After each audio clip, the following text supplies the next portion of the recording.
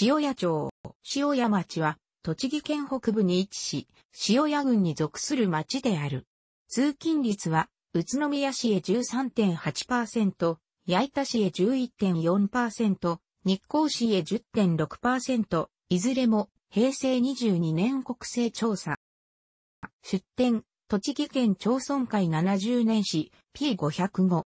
2014年7月30日、放射性物質を含む指定廃棄物の最終処分場の候補地として、塩谷町上、寺島、寺島入りの国有地が提示された。環境省からの提示を受けた、三方和久町長は、明確に反対ということで押したと述べた。同年7月31日、県指定廃棄物処理市町村長会議で、石原信明環境大臣が、候補地での詳細調査への協力を求めた。同年8月5日、塩谷町議会が候補地の白紙撤回を求める意見書を前回松室で可決した。意見書では、候補地が消費都市沢湧水に隣接し、不適切であると表明している。同年8月31日、最終処分場建設に反対する、塩や町民指定廃棄物最終処分場反対、同盟会が、町内で住民集会を開き、候補地選定の白紙撤回を求める決議を採択した。主催者発表によると、同集会には約2000人が参加した。同年9月19日、塩谷町議会は、超高原山、消費都市沢湧水保全条例案を全会一致で可決し、条例は即日施行された。条例に基づき町は、湧水等保全地域を指定し、指定後は、同地域内での指定廃棄物の最終処分場の設置等の際には、町の許可を要することとなる。同年10月29日、塩や町民指定廃棄物最終処分場反対、同盟会は、候補地選定の白紙撤回を求める17万3573人分の署名を環境省に提出した。この問題に対して、三形町長は指定廃棄物を福島第一原子力発電所周辺に貯蔵すべきと主張している。同年11月4日、5日、三形町長は県内24市長を訪問し、各市町長にこの主張への理解を求めてい。なお、指定廃棄物を福島第一原発周辺に集約すべきという主張は三形町長が初めてではなく、以前に矢板市が最終処分場の候補地に選定された際に、福田昭夫衆議院議員が指定廃棄物を福島第一発敷地内で一時保管すべきと主張していた。同年11月9日、県指定廃棄物処理促進市町村長会議でみ、形町長は福島第一原発周辺に処分場を作ることを主張したが、持月義夫環境大臣は県内処理を見直さない方針を表明し、福田富一知事は国の方針を指示した。同会議で福田知事は指定廃棄物を放射線量が減衰した時点でリサイクルし、現状回復する方法を提案した。2015年2月2日、環境省は現地にて候補地の面積確認をしようとするも、候補地へ通じる林道入り口付近に最終処分場建設に反対する住民らが集結し、同省職員らの立ち入りを阻止した。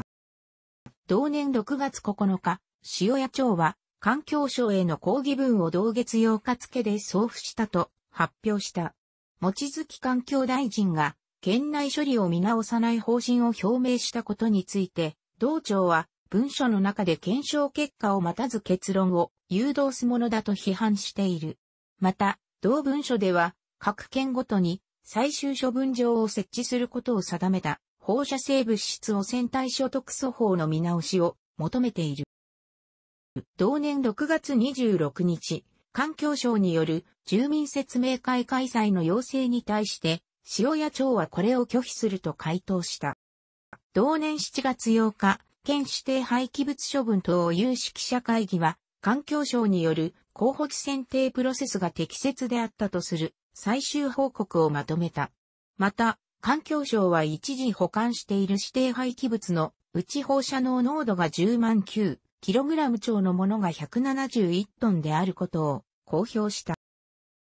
同年10月9日、県市長会長の佐藤栄一宇都宮市長と、県町村会長の小口達也茂木町長が、塩谷町役場を訪問し、環境省の説明会開催の要請に応じるよう、説得するもみ形町長は拒否した。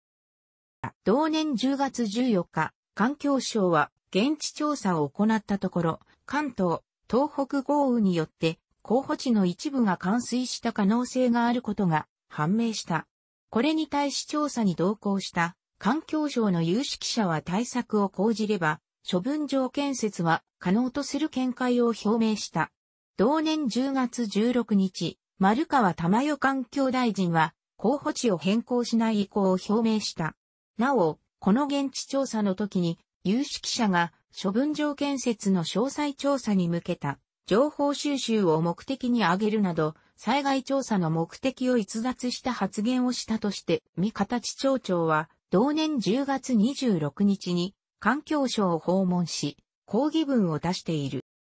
また、環境省が町の全世帯に対して指定廃棄物について考えを聞くダイレクトメールを郵送したことに関して、町は10月22日付で環境省に対して抗議文を郵送した。町は抗議文の中でいたずらに町民の不安を煽る行為だと批判している。環境省によると、このダイレクトメールに対する町民の回答は10月23日までにおよそ900通で、そのうち環境省の意向に理解を示す意見は1割弱にとどまり、9割以上は環境省の方針に反対する意見だったという。同年10月29日、環境省は町の全世帯に対して再度ダイレクトメールを郵送した。前回のダイレクトメールには連絡先の記載がなかったが、今回は連絡先を記載した上で質問への回答形式で処分上の安全性などを説明している。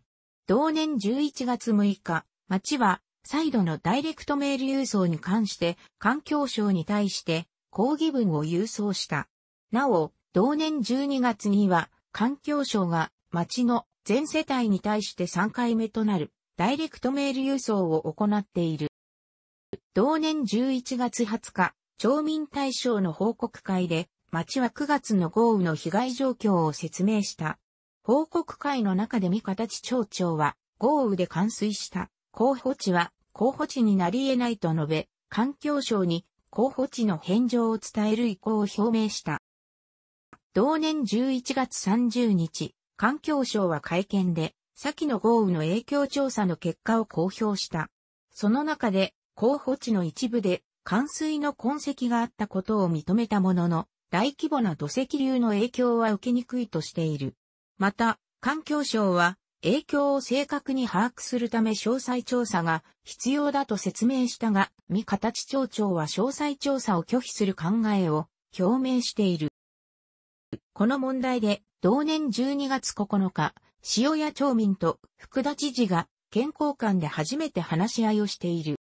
2016年1月22日、井上新次環境副大臣が福田知事、三形町長と会談し、環境省が各県ごとに一箇所ずつ処分場を作る方針を断念したとする一部報道について、その事実がないことを説明した。